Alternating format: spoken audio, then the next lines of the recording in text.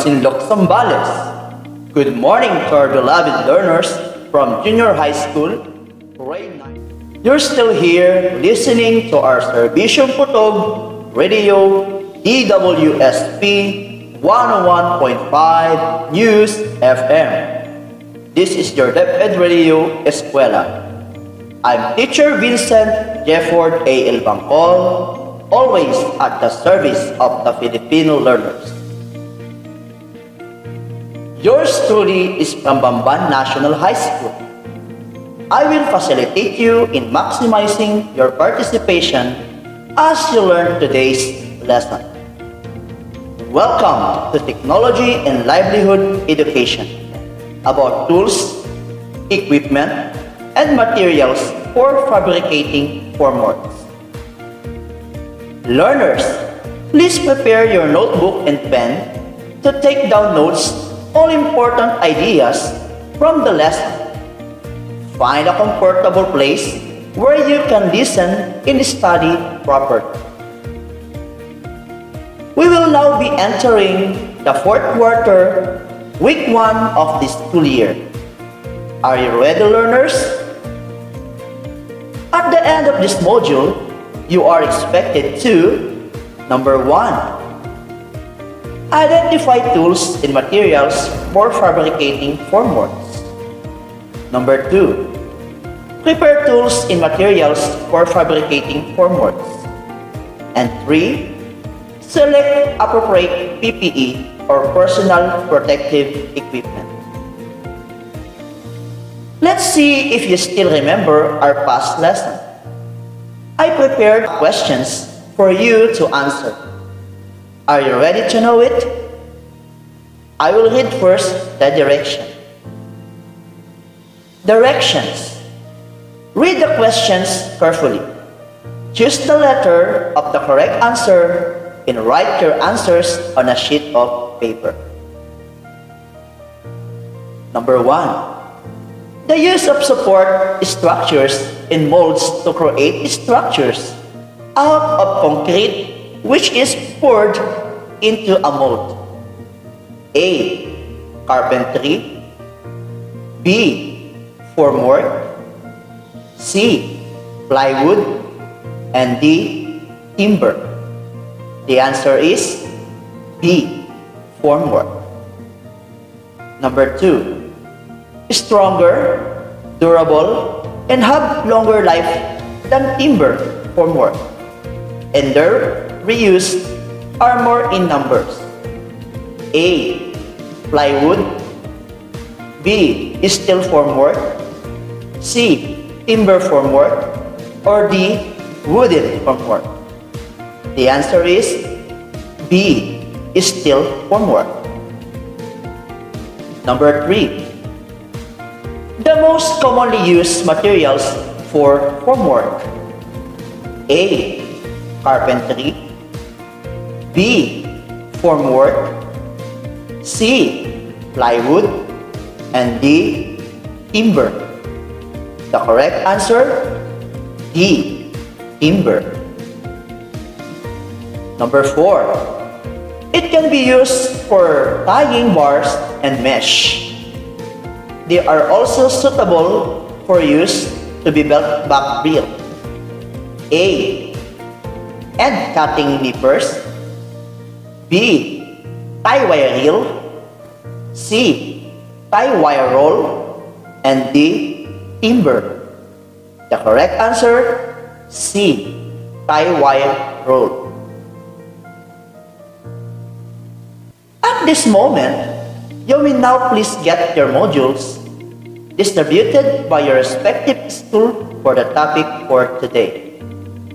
You can also get your notebook and ballpen to take down notes about the lesson that I'm going to discuss. Our lesson for today is about tools, equipment, and materials for fabricating formworks. Yes, you heard it right. So, what is formwork? Anybody from the group? Formwork in construction is the use of support structure in molds to create structures out of concrete which is poured into a molds. Formwork can be made using molds out of steel wood, aluminum, PVC, plastic, and prefabricated forms. Formwork is an ancillary construction used as a mold for a structure. Into this mold, fresh concrete is placed only to harden subsequently. The construction of formwork takes time and involves expenditure up to 20 to 25% of the cost of the structure or even more. The operation of removing the formwork is known as stripping. Strip formwork can be reused. Reusable form are known as panel form and non-usable are called stationary form. A good formwork should satisfy the following requirements. Strong enough to withstand all types of dead and live loads. Rigidly constructed and efficiently propered and braced both horizontally and vertically so as to retain its shape.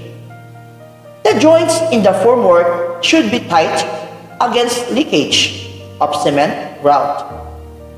Construction of formwork should permit the removal of various parts in the desired sequences without damage to the concrete. Materials of the formwork should be cheap, easily available, and should be suitable for reuse. The formwork should be set accurately to the desired line and level should have plain surface. As light as possible. Materials of the formwork should not warp or get distorted when exposed to the elements. Should rest of a firm base. The following points are to be kept in view to affect the economy in the cost of formwork. 1. The plane of the building should imply the minimum numbers of variations in the size of rooms, floor area, etc. so as to permit reuse of the formwork repeatedly. Number 2. Design should be perfect to use slender sections only in a most economical way. Number 3. Minimum sewing or cutting of wooden pieces should be made to enable reuse of the materials a number of times. Formworks are mainly of two types, steel formworks and a wooden formworks. Steel formworks is made of steel sheets, angle irons, T-irons, while wooden formwork consists of props, planks, battens, liggers, and sheeting. Here are the materials used in formworks. Timber formworks, most commonly materials used for bracing the member, hence called the traditional formwork, can easily be cut to size on site. Joists are replaced with engineered wood beams and support are 12 replaced with metal props. This makes this method more systematic and reusable. Various sizes of members of timber. Plywood. This is by far most commonly materials used for the site. And if handled and stored carefully, it can be used many times. A standard plywood thickness on site is 18 mm. This is usually sufficient for most pours. However, if the formwork is curved a thinner plywood is used to facilitate bending. Thicker plywood may be used when the weight of concrete causes a standard thickness. plywood to bow out, distorting the concrete face. Ply refers to a number of layers and resulting thickness of a plywood board. Some projects need thicker boards, while others can involve smaller pieces instead, depending on the amount of strength needed. Each layer, called a wood veneer, is glued to another layer to create the number of plies needed. Veneers can be a varying thickness themselves. So, be sure to carefully evaluate each type of board you're considering.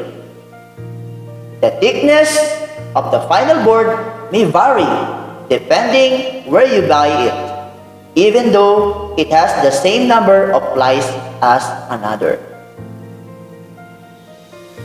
Steel formwork Steel form are stronger, durable, and have longer life than timber formwork, and their reuse are more in numbers.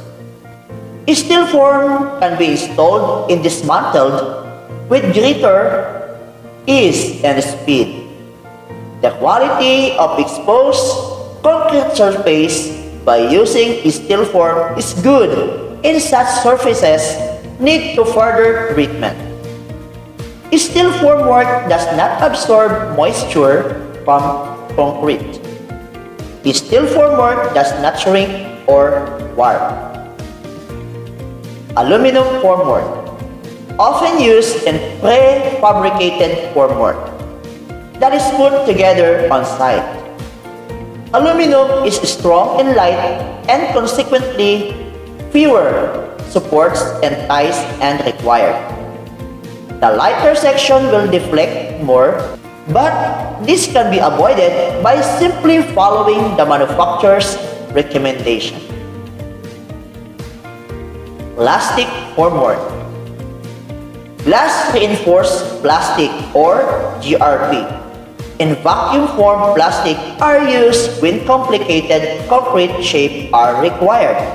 Example, waffle floors, Although vacuum-formed plastic will always need support, GRP can be fabricated with integral bearers making it self-supporting.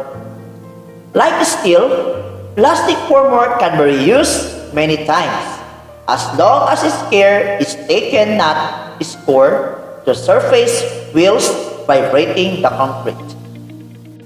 Common formwork tools 1. Tie wire hooks which can be used for tying bar and mesh. They are also suitable for use with belt pack reel. End cutting nippers. Head shape provides optimized movement when tightening steel, mesh, nut during reinforced concrete works with cutting edge for a soft and hard wire also suitable for twisting and cutting binding wire high leverage concreter's deeper. 25% less effort required compared to a conventional concreter's nippers. Of the same size, extra slim, form for tying deep-mounted steel rods to lace concrete reinforcing steel with binding wire from a roll wire.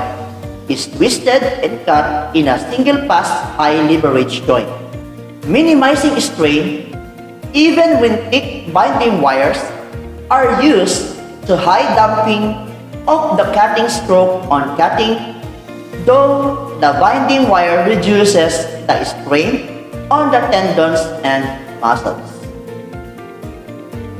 Note, if the high leverage concreter nippers and the end cutting nipper tools are not available, you can use pliers, or side cutting nippers because these are some tools that are available within our community for holding a small object or for bending and cutting wires.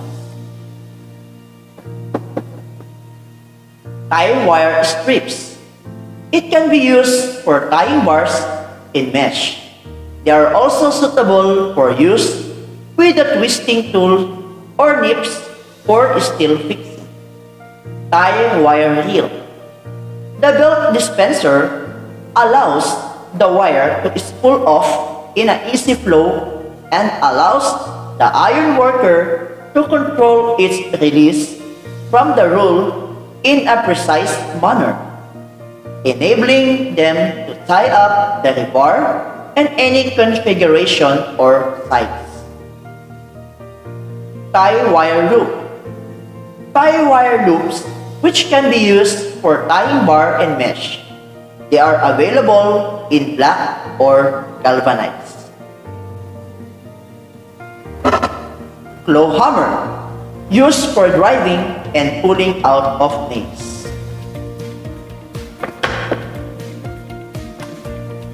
Handsaw. In woodworking and carpentry, handsaw, also known as panel saw, are used to cut pieces of wood into different shapes. This is usually done in order to join the pieces together and carve a wooden object. They usually operate by having a series of sharp points of some substance that is harder than the wood being cut.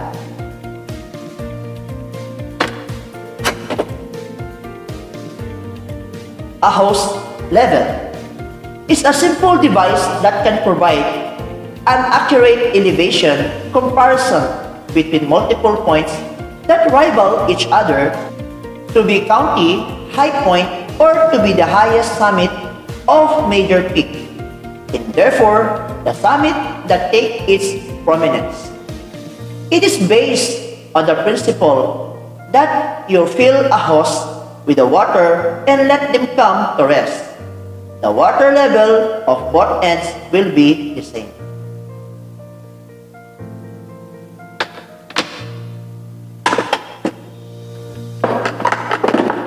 Plumb bob. Plumb bob or plummet is a weight, usually with a high pointed tip of the bottom, suspended from the string and used as a vertical reference line or plumb bob or sorry, or plumb line. It is a precursor to the spirit level in use to establish a vertical datum.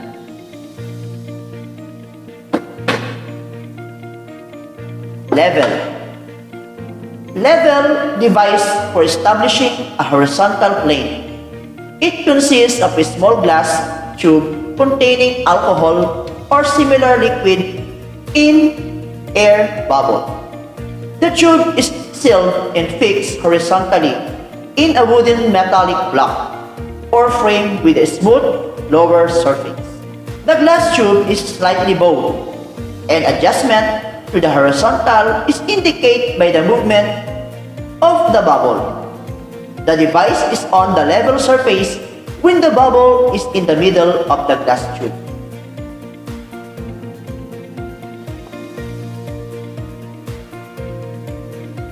Pull push rule. Pull push rule is a measuring tape that coils into a compact case. Ruler, a ruler sometimes called a rule or line gauge, is an instrument used in geometry, technical drawing, printing as well as engineering and building to measure distance of the rule straight line.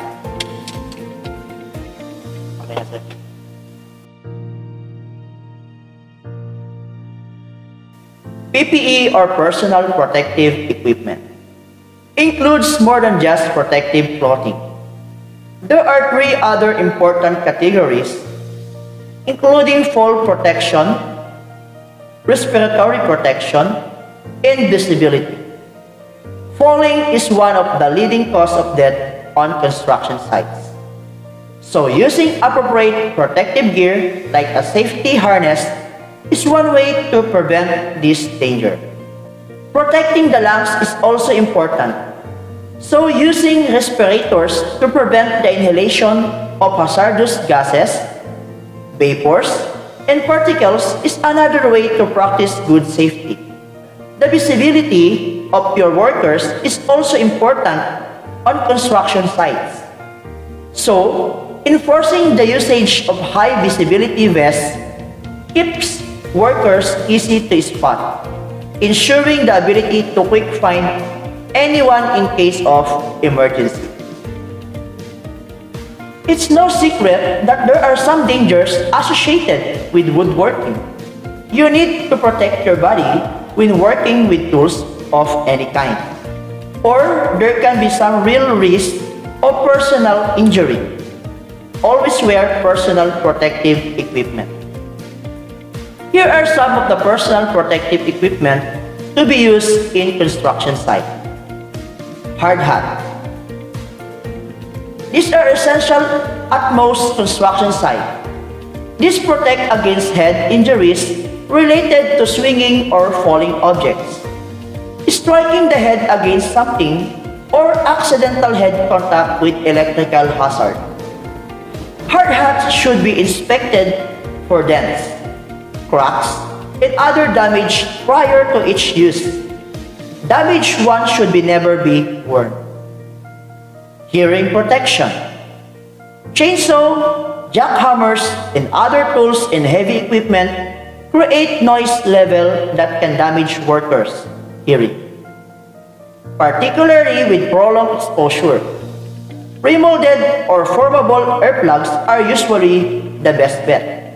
But acoustic foam line earmuff that tightly seal against the head can work well too, but I don't have it right now face and or eye protection. Safety glasses or face shield should be worn whenever there is a danger of flying debris or harmful dust getting in the eyes. Cutting, grinding, welding, chipping, and nailing are some activities that are necessitate protective eyewear. Along with basic safety glasses, some other protective wear to the face include welding shields, chemical splash goggles, and dust goggles. Work pants and work shirt. Workers should protect their full legs, full arms, and torso against cuts, scraps, burns, and other superficial injuries with thick, flexible work pants and shirt. This should fit closely and never be baggy, while allowing for maximum mobility, as you can see right now. Hand protection. Different types of work gloves are best suited to particular tasks and risks at construction sites. For example, there are heavy-duty leather and canvas gloves for protecting against cuts and burns. Welding gloves for welders, heavy-duty rubber gloves for working with concrete. Insulated gloves with sleeves for working with electric hazards. And chemical resistance gloves for working with chemical agents. Reflective high visibility garments, brightly colored and or reflective jackets, vests, or other upper body clothing is important for workers' visibility. It's generally advisable to wear it all times at the job site. But it's especially crucial along active roadway, in low lighting, in for dust, in nighttime work. In certain circumstances is mandated by OSHA. Awesome! Now that you have an understanding of our new topic, let us proceed to the next level for the activity. Directions. True or false? Read the following statements carefully. Write T if the statement is true and F if not. Number 1. Formwork can be made using molds out of steel, wood, aluminum, and or prefabricated form.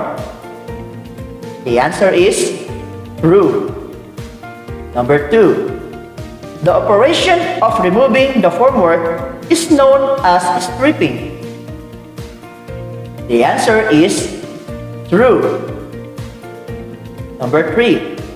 The quantity of surface finish depends on the quality of the formwork.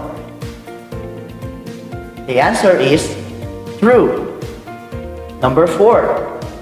Timber formworks are stronger, durable, and have longer life than timber formwork in their reuse as more to number 2? The answer is false. Number 5.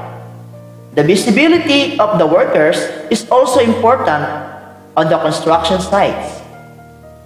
The correct answer is true. Next, direction. Categorize the following exercises. Write EF for the formwork tools and MF for the material for formworks. Number 1. Bolt cutter. The correct answer is EF. Number 2. Plywood. The correct answer is MF. Number 3. Tie wire loops. The correct answer is TF. Number 4, tie wire reel. The correct answer is TF. Number 5, timber. The correct answer is MF. Number 6, plastic formworks. The correct answer is MF. Number 7, end cutting nippers. The correct answer is PF. Number 8. Tie wire strips. The correct answer is PF. Number 9. Steel formworks. The correct answer is MF. Lastly, number 10. Aluminum. The correct answer is MF. I hope you enjoyed listening and watching this video lesson that I prepared for today. Because Every single moment in our module in carpentry is very important and you can save money in expanding buildings of your house. You can use this in your daily lives, whether you are students, a family man, or a man of profession someday. Our dear parents, your guidance can make a difference on how will your children can accomplish the learning task. Kindly provide assistance God bless in answering your module.